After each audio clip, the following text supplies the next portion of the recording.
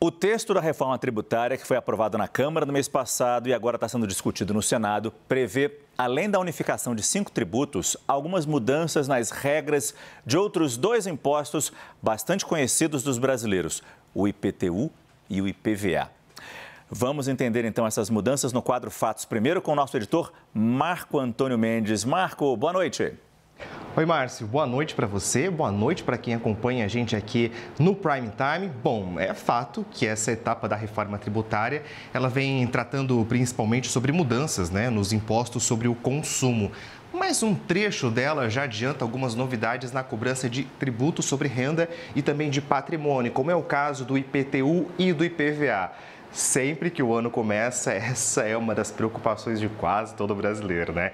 Mas vamos lá, o que, que, muda então? A principal mudança no imposto sobre a propriedade predial e territorial urbana, o IPTU, é que agora a base de cálculo ela pode ser atualizada por decreto municipal.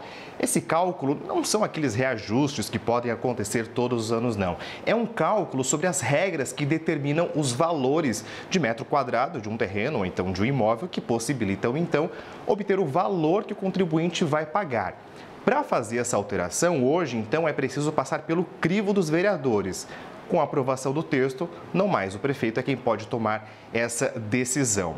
Outra mudança é no imposto sobre a propriedade de veículos automotores, o IPVA, e aqui tem duas novidades bem importantes, viu? Veículos aquáticos, como iates, lanchas e também aéreos, como jatinhos, eles passam a ser taxados todos os anos. Não entram aqui, então, aqueles barcos ou aviões usados para o transporte de passageiros ou voltados para alguma atividade produtiva. Só aqueles bens usados por pessoas de grande poder aquisitivo.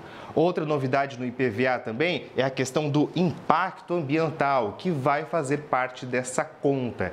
Isso significa, então, que veículos menos poluentes podem pagar um percentual menor do IPVA. Alguns estados até já oferecem esse desconto, né? mas agora essa regulamentação vai valer para todo o país. A gente conversou com um pesquisador em tributação, Breno Vasconcelos, e ele explica que é possível que veículos elétricos sejam beneficiados com essa mudança. Vamos, vamos acompanhar.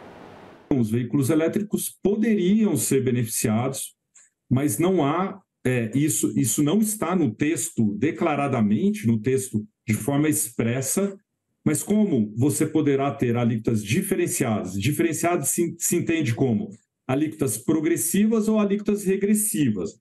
Quanto menos impacto ambiental, menor será a alíquota. Quanto mais impacto ambiental, progressivamente será maior a alíquota. E os veículos elétricos, como eles têm baixo impacto ambiental, eles poderiam gozar aí de uma alíquota menor. Isso é possível. Vamos lembrar então que a proposta da reforma continua em discussão no Senado. Estão previstas ainda várias audiências com sugestões sobre o que, como fica né, o texto que veio da Câmara e como pode mudar. Então é preciso a gente continuar acompanhando até a votação definitiva. Márcio. Muito obrigado, Marco Antônio Mendes, editor do quadro Fatos Primeiro. Boa noite, Marco.